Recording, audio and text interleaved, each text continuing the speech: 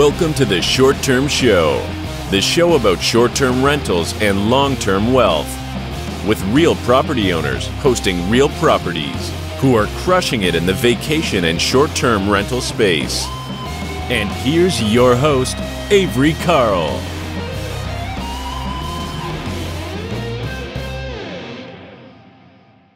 Did you know that we're officially back in a buyer's market? That's right. Even though interest rates continue to rise, they are causing prices to fall. So there's finally room for you to do regular real estate investor things that we couldn't do for so long, like gas negotiate, make lower offers, ask for sellers to cover some of your closing costs. So it's a really great time to buy in terms of being able to get a lower purchase price and being able to negotiate. So if you're looking for your first or next short term rental, it's a perfect time to reach out to us at the short term shop. Let our team of agents in any of our true vacation market destinations help you find the perfect investment. Jump on over to theshorttermshop.com and click Get Connected to get started. We are brokered by eXp Realty. See y'all over there.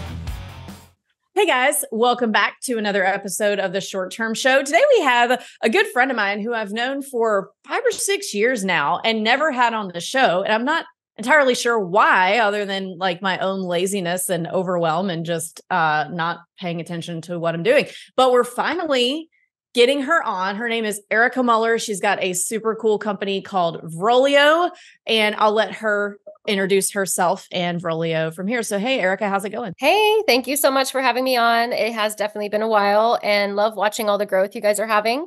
Um, so my name's Erica. I started selling short-term rentals as an agent back in 2007. Um, got licensed in 2001. So I've been in real estate over 22 years. My background is in commercial real estate. Um, and then got into short-term rentals with that. So it kind of mixed those two together. And then I stepped out of selling short term rentals um, about four years ago to build technology, became a data scientist, wanted to build better data solutions. As an investor myself, I understood the pain points that a lot of you guys have as investors.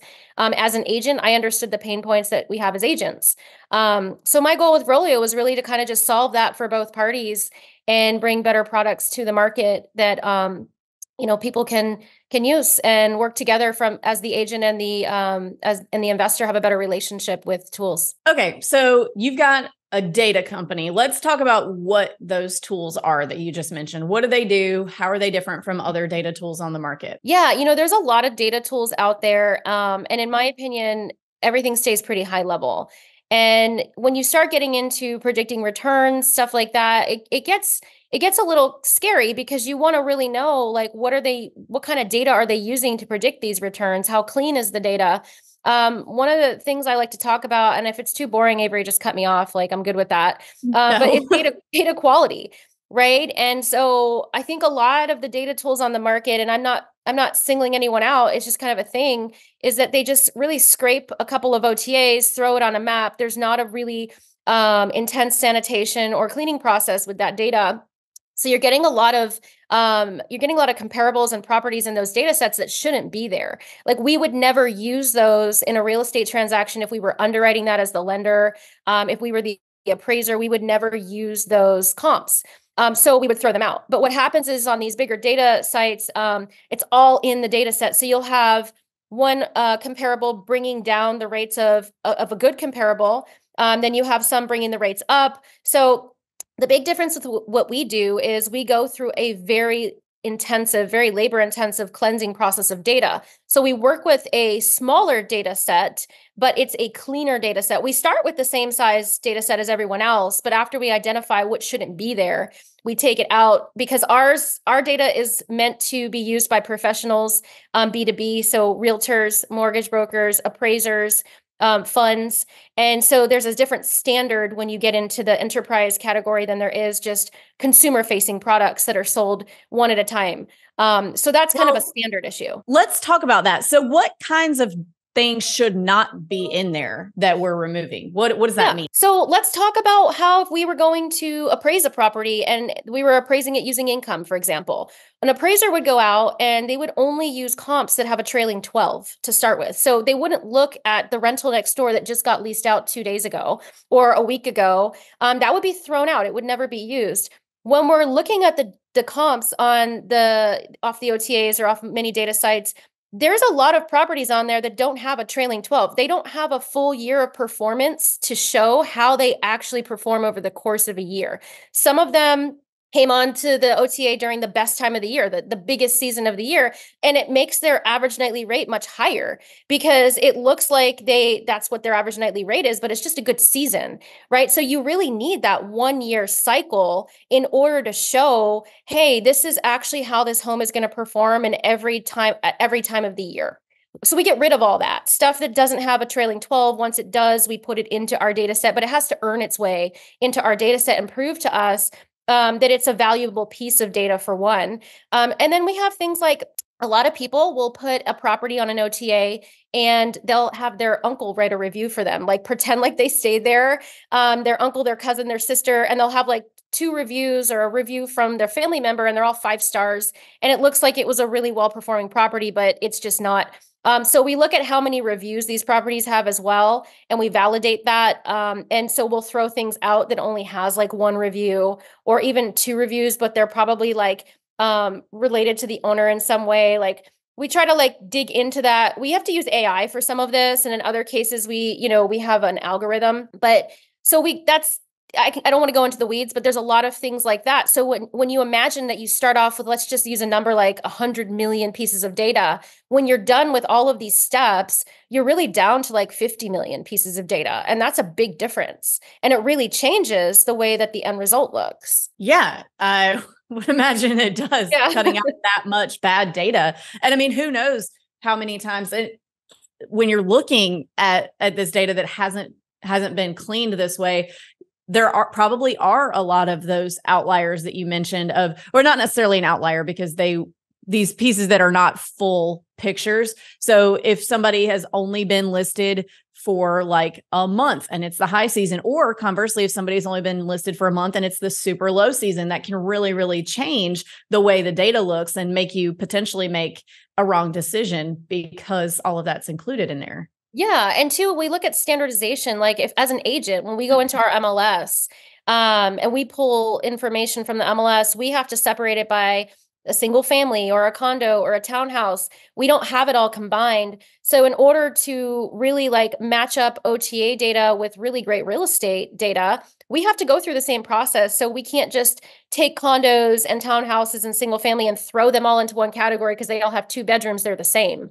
um, that's also a big issue where we go to a we go through a really you know um, intense process of having to segment all that out and only put things in the right category because that two bedroom condo could totally bring down the rate of that two bedroom house and that two bedroom house is going to bring the rate of that condo up. So you've got to like clean all that out and separate it and segment it. I i totally agree with that because in some markets there are single families that are studios or one bedrooms and i know that's not common in a lot of places but for example i own several in the Smokies that are studios. And if you're looking at the wrong data, you might just assume, like in a beach market, like in Panama City or Destin, one bedrooms and studios are always going to be condos. Mm-hmm. One bedroom and studio single families do not exist. And in different markets it's going to be different. In the smokies i don't want to say there's a lot of studios but i own a studio there's people on my team that own several so they exist in a much larger capacity than in other markets. So i, I think that is an important distinction to make between the condo and the single family and the townhome because they do earn differently. Oh yeah and they all they all um, behave differently in different markets. So so yeah those are the kind of things that just needed to be done right? And and the, the way we approach it and we feel like professionals too that use our data, they have to be held to a higher standard. Um, and that's what we have to deliver on is that professionals are the ones that are actually at the end of the day helping make these decisions for the investor.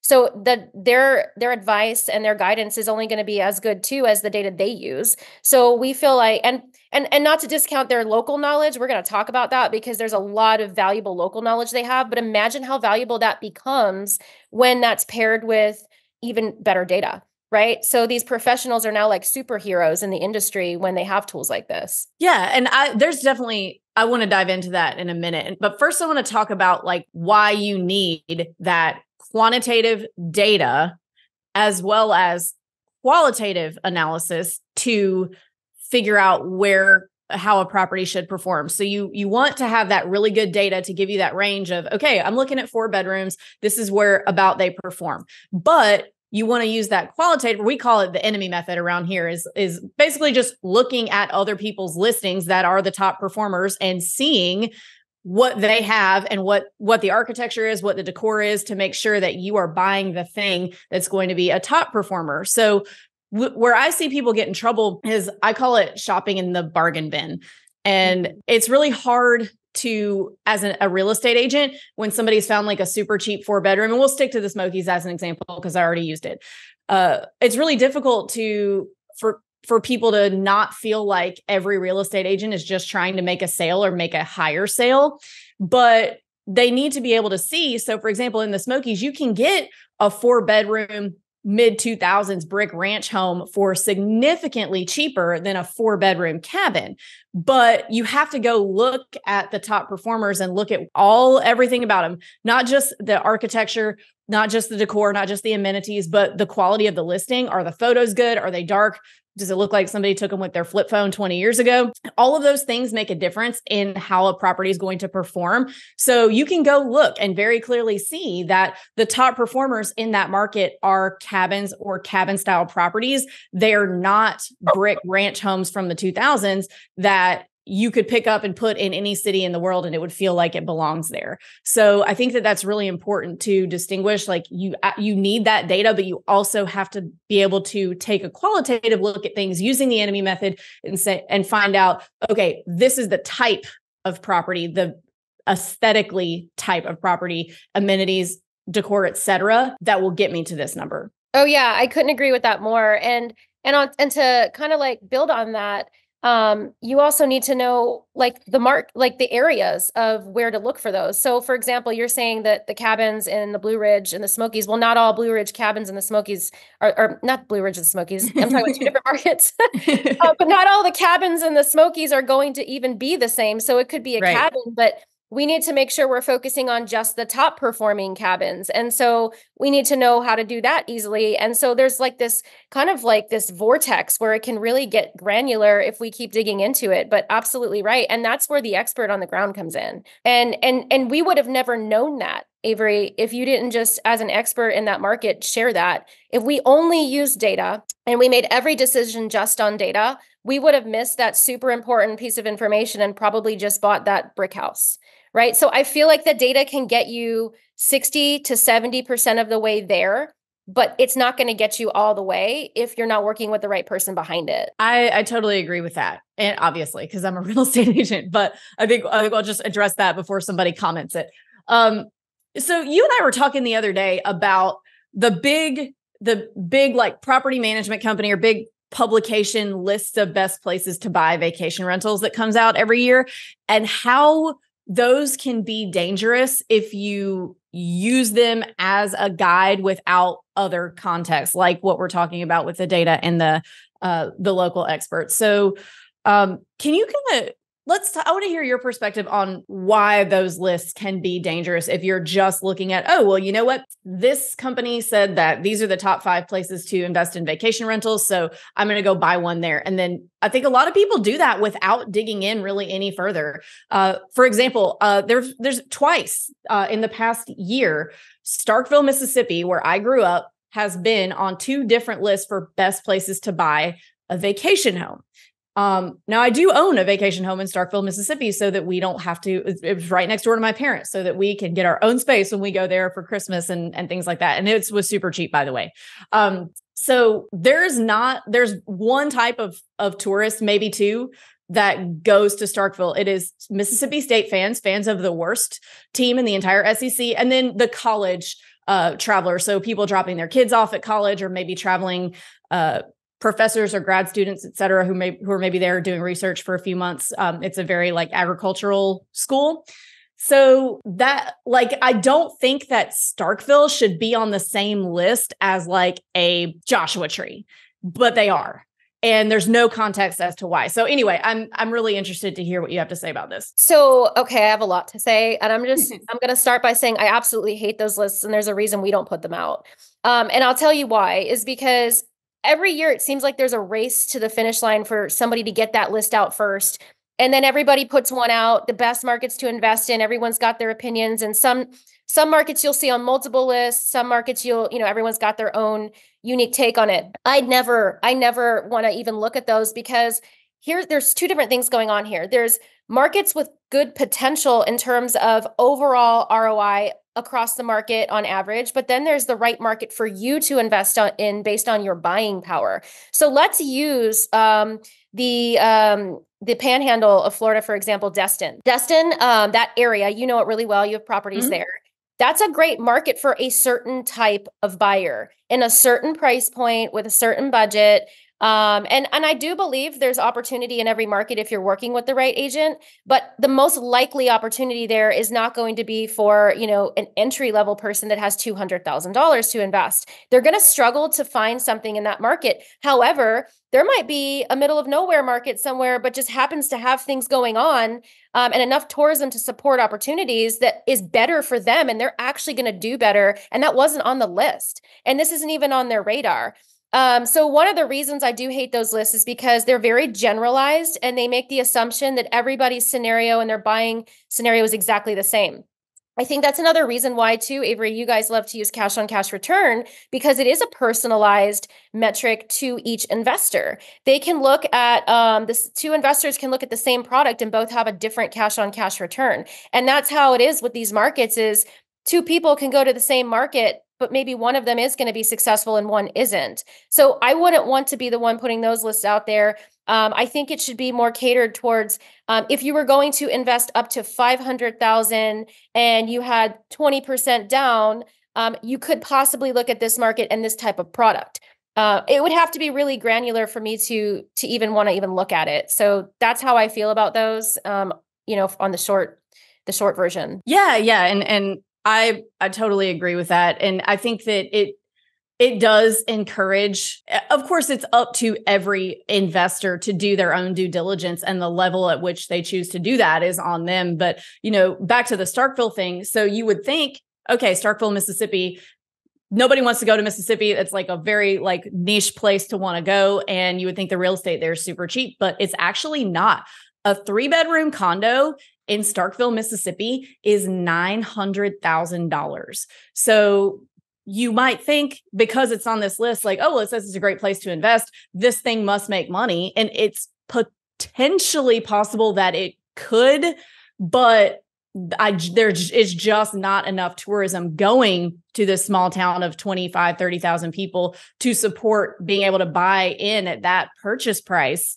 because exactly. the area that it needs to be in in order to capitalize on any sort of college tourism is very expensive and like you could buy a three bedroom condo in Panama City Beach make a lot more money have a much longer season for less than that. So I just there's I mean I, I could give any number of of examples and and another thing that I wanted to touch on too with with data companies that I would love for you to kind of shed some light on it how how our listeners can avoid making this mistake.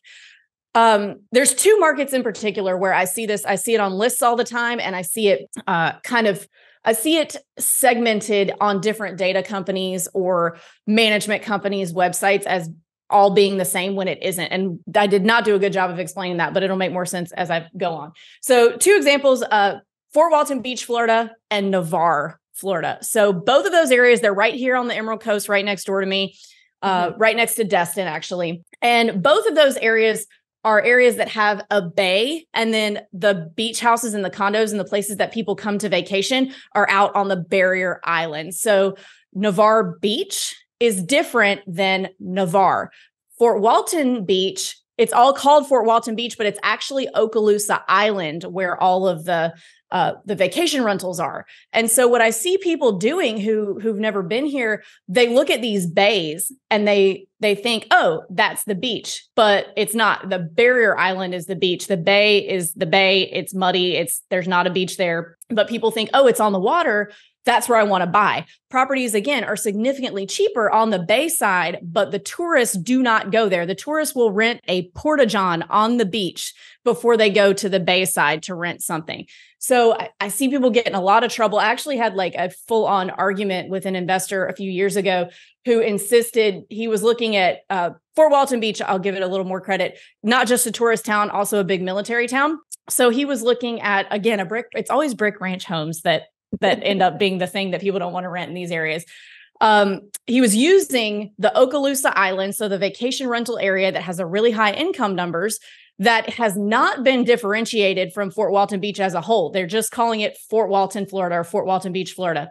Way on the other side of the bay. He's like, oh, well, you know what? It's it's a 15 minute drive to the beach. People will still do that. In some markets like Sarasota, they might, but in this market, they don't. They walk to the beach.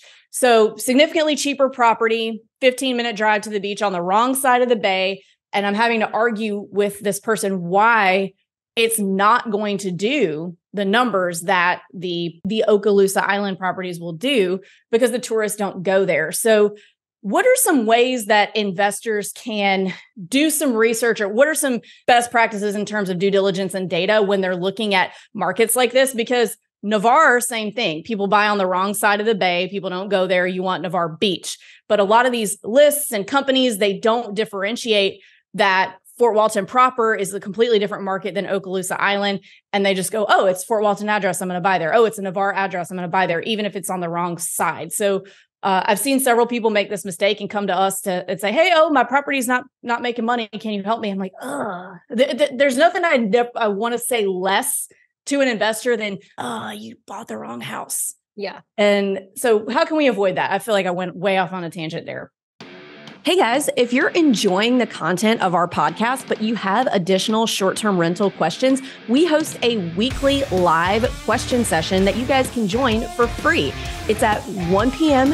Eastern on Thursdays. And if you head over to strquestions.com, you can sign up. So not only am I the host of this show, but I also own and manage my own properties and I'd be happy to answer any questions that you have about short-term rental investing. So please join us anytime for a free weekly live Q&A on Zoom. Sign up at strquestions.com. Sell with the short-term shop. Are you looking to sell your short-term rental or even 1031 into a different property? Our team of realtors will work hard to get you the most for your investment. We are experts in our field and would love to earn your business. When it's time to sell, call the shop. TheShortTermShop.com. That's TheShortTermShop.com. Brokered by EXP. No, no, it's really good stuff because I dealt with that too when I was um, selling properties in Kissimmee. I had the same exact problem. We our Fort uh, Walton Bay was basically Davenport, and at the time, you needed to be very close to Disney. I understand we had the same situation. I feel like there's a case like that for every market. Um, so one, I just need people to understand that there's no possible way that a data company is going to understand that kind of effect. It's not a data point that you can pull from the OTAs unless, and there are ways to do it, um, unless you're looking at um, you know review data things like that. And i don't see people doing that yet. I know we're working on it um, and on the back end we, we use that. But you really have to be looking at those kind of conversations that are happening in the reviews. So if you're and this is kind of like outside of data if you're asking what a person can do outside of data before even calling a real estate agent because my answer to that would mm-hmm. be like they really need to be getting on a phone with a local expert. And then second they need to know if they're talking to an expert and not a pretender like an imposter is what i meant to say. Because it's also easy to to think someone knows what they're talking about and then they're going to sell you that underperforming house. Um, but what i would do is if i saw that in the data um, i would go onto that area on airbnb and i would start reading every single review on all of those properties to see if somebody's talking about uh, especially the low review, the ones with lower reviews, to see what people are saying. Like, are they saying things like, "Oh, it was just too far," you know, great house, but had to rent a car. Get it was really far to get to the beach, or those things are in the reviews. Like before we had access to all this data as an agent in 2007, when there was no Airbnb, that's the kind of stuff I had to do like on HomeAway when back when HomeAway was a thing. I actually had to read every single review to find out what the heck was actually going on in these neighborhoods. And it wasn't easy and it is time consuming. A faster way to do that is just pick up the phone and call the agent, but not go buy that property just because in the data it looks like it's in a good area or the the data report said that this whole market is great because you're absolutely right those markets um, there's micro markets within the market and so that's really hard for the data to pull out without that um, intimate knowledge of being on the ground um, so that would be like my solution if that's something that someone had to do on their own um, just using data is like read those reviews because that information's in there for example on that same area there's even if you read reviews one time I discovered that somebody was complaining about the fact, and this is more of a strategy thing than just location, but they were complaining about the fact that they rented one of these properties right on the beach and they didn't provide beach chairs. And so they'll never rent it again because other houses were providing that. What is like, and they got a bad review because of that. Like, there are so many things that we can learn from reviews um, if we actually read them as investors. But data companies, they're not doing that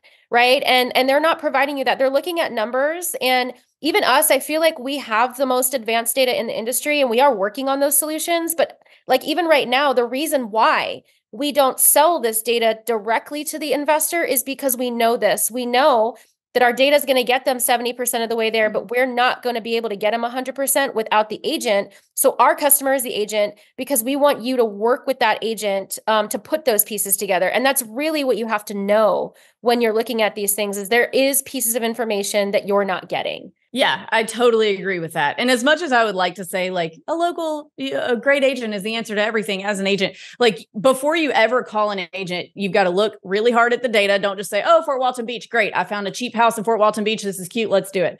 Uh, so you got the data, enemy method like you talked about looking at all the reviews of everything looking at what they say beach chairs i mean that's a prime like enemy method thing to find uh, yeah. around here like we provide beach chairs in all of our properties and if you are like if you're buying a property in destin and you're four bedroom you're going to be enemy methoding my house and mm-hmm. we have we provide beach chairs we provide a beach wagon and you kind of have to do that when it's public beach access, or you have to provide them, but you also have to give them the the information for the rentals. So, uh, always looking at the reviews, the reviews of both high performing and low performing properties to see what the common themes are. So, if all the high performing properties get mentioned proximity to the beach, well, you know you need to be closer to the beach in order to do that. Uh, if all of the lower performing properties have reviews that mention proximity to the beach in the opposite direction.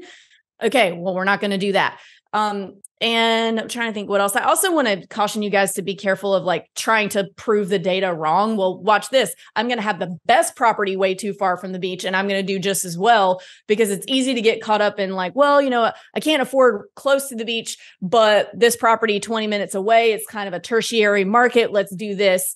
And you can kind of get yourself in trouble. Don't don't try to out outdo the data. Try to work do find in the data and in the enemy method what corresponds with the highest performers and do that. Don't try to be the best of the lowest performing area because that's not a good way to go. Yeah, no, and that's what we tell people all the time is like the first place we start when we're teaching investors and agents and everyone how to like analyze the data is like first just look at where your high performers are because you're going to learn a lot just from seeing where all the high performers are um, right away. And so like if you if you're just looking at prices first of how much you can afford to buy, that's not that's not the first step. A lot of people will go on Zillow and they'll start their search like they'll hear about this market and say and they'll say it's a really great market. Then they'll go to Zillow and they'll look at what fits their buy box as far as price goes.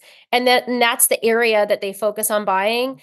And that's a horrible decision. Like you said, like the best solution you can do there is if you can't afford um, a property in that market. And I don't mean it in a bad way. Like everybody has a budget. I have a budget. We all have one. If your right. budget doesn't allow for the top performing type of product in that market, just pick a different market, right? Yeah. Just like pick a different market. There's there's like thousands of them across the country where you can make money. If you don't have an emotional reason for buying there, um, then just pick a different market. That's it. If you have yeah. an emotional reason for buying there, then just understand you might lose money. Like those are really the only two conversations to be had right there.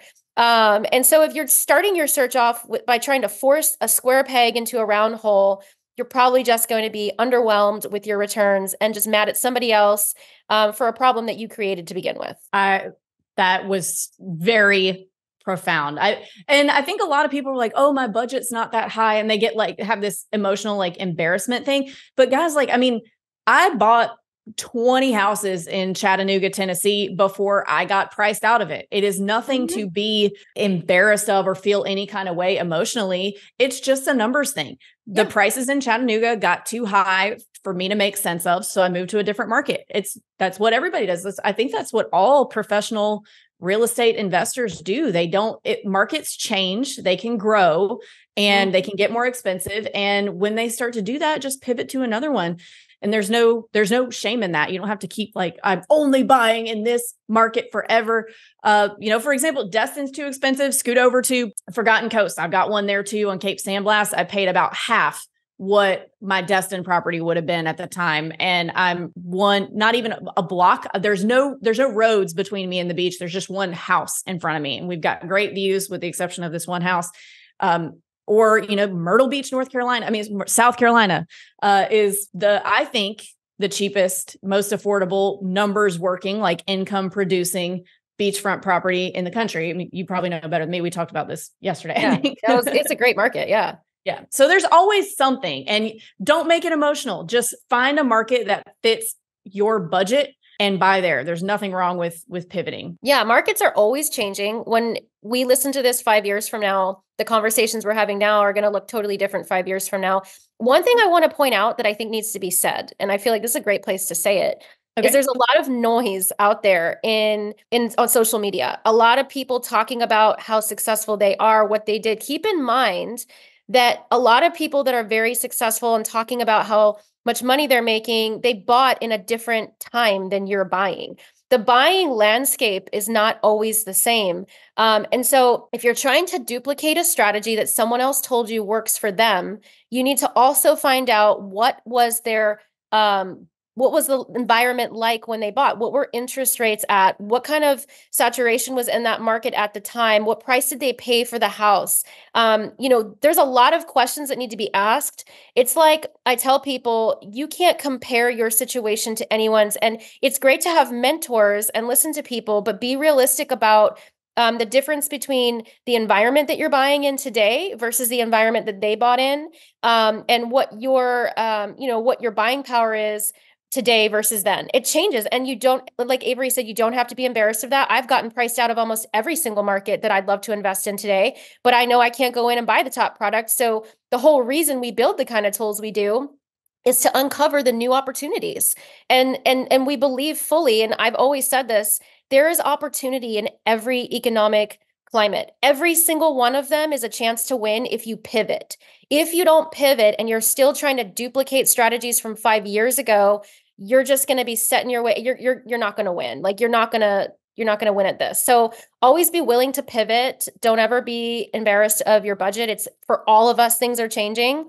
Um and and just try to be careful who you listen to and understand and ask the right questions before you compare that scenario to yours. Yeah. And you can always take the principles of someone else's story and apply it to yours, yes. maybe in a different market. Because you're always going to be able to find, if you don't want to buy, like if deep down you do not want to buy, you're always going to be able to find a reason to buy.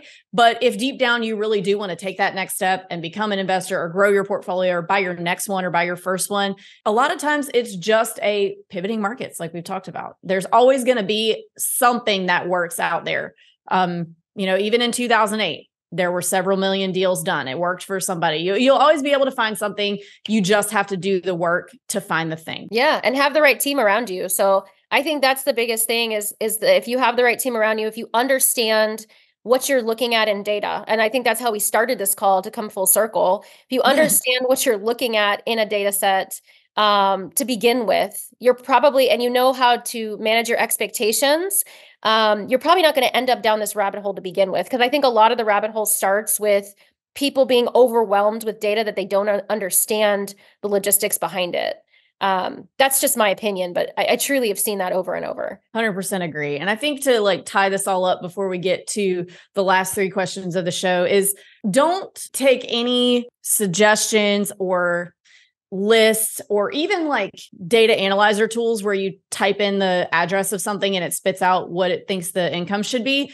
All of those can be a good starting point to find a market or a type of property, but that can't be the only data point that you look at. You have to dig in further and look at the data for the entire market. Find the area in that market that works the best. Don't be trying to buy in Fort Walton proper. You need Okaloosa Island. Same thing in every market. Find where the top producers are. Find um, what they are with the enemy method, find what those things are that make them top producers, whether it's the proximity, amenities, service, all of those things, and then use that tool. Then obviously go find a local agent who is experienced in short term rentals. I actually made this mistake myself recently. I uh, was working with an agent in a market that the short term shop does not operate in. So, market that I'm not licensed in, I don't know anybody in, found an agent, and I went under contract on a property that was beautiful and had the best view in the entire in the entire market. And as I started kind of looking and digging around in the data, I realized like this is the best area to live in this market, but all of the higher uh, producing properties were in a different area that didn't seem as nice when I went and looked, but they were actually the better properties. And the agent that I was working with just re- was really aggressive about like keeping it there. The, and it ended up that it needed a $50,000 roof. And at the price I was at, I didn't want to do that. But the agent was really being aggressive about keeping me in that deal because it was the best area to live. And this is a small, small market. So there aren't a whole lot of like I don't know how much better I could have done on the agent front, but um, it really does help to have an agent that understands not just the primary home market. It would have been a great place to live in that market, but the investment, the short-term rental market to understand which proximity. It's not the the best house to live in is not always the best house to invest in for short-term rentals, even though it can seem like those two things would would be very similar and you really have to interview your agent make sure they specialize in short-term rentals or at least do enough short-term rental deals to understand the differences in in those two asset classes the primary homes and the short terms. And um, just make sure that they're experienced in it ask a lot of questions and and just do your due diligence. All the way from the beginning of the data to hiring your agent to hiring your lender due diligence is key. Yeah. And and sometimes when you get into those really small obscure markets avery it's like sometimes it's almost impossible to find an agent that has a lot of short-term rental experience and that's when i think investors have to start to self-advocate and even educate themselves even more. Um, because there's a lot of agents out there that will say yes to anything because they want the sale but you really have to know how to vet them and i think that would be a great topic too to discuss at a different time is like how to make sure you're working with someone who knows what they're doing because um, there's a lot of people out there that are great salespeople and they can sell anything, especially themselves. So that's a big thing. Um, so yeah, if everyone just does everything that you talked about today, I think they're going to be on a good track. Yeah, I think so too. So thank you so much because I think that you shed a lot of light on what you need to look for in data when you're looking because I think a lot of people are just like, "Oh, cool, four bedrooms do 100,000, great." But, you know, there's things you need to look for like does do all the data points have that trailing 12, things like that. But we're coming to the last three questions of the show that we ask everyone who comes on the show. First question is What advice would you give 20 year old Erica? Oh my gosh. Um, I, I don't even, oh, I wasn't prepared for that. There's probably from a real estate perspective, um, it would be to um, basically find a mentor sooner. I got into real estate when I was 18, and I did have a mentor for a little bit but I was kind of independent and thought I could do it on my own. I feel like I would have made a lot more progress if I got a mentor sooner, especially um, on the commercial side. I did eventually do it, but should have done it sooner. Also, be prepared for the collapse that happened. That was a big one. I didn't save enough money. Um, I was really young when the collapse happened. I was like 23, I think, or 22. I was super young and I was making a bunch of money in real estate, but not saving or investing it as most people should. So always create um, that secondary revenue stream in your life with real estate income. Totally agree with that. Yeah. And um, you know, something interesting that I found that totally off topic. So everybody's like, I'm waiting for this crash. I'm waiting for this crash. I saw an interesting statistic, and unfortunately, I can't quote it, but I'll put it in the show notes. I'll find where it was and put it in the show notes.